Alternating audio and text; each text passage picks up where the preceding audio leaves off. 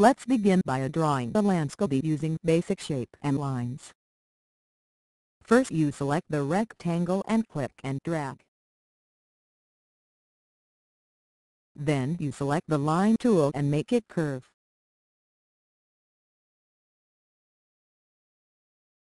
Then you draw the bottom of the tree.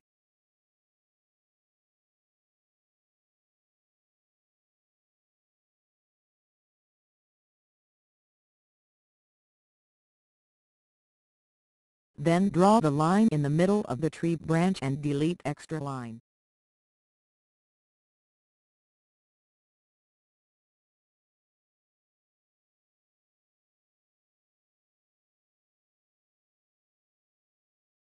Then select the pencil tool and draw the top of the tree.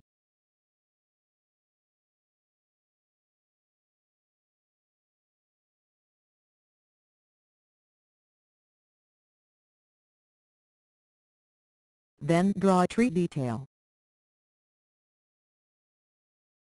Select the pencil tool draw the tree branch.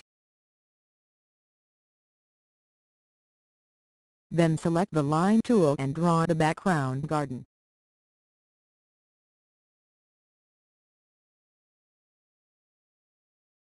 Then select the pencil tool and draw a mountain.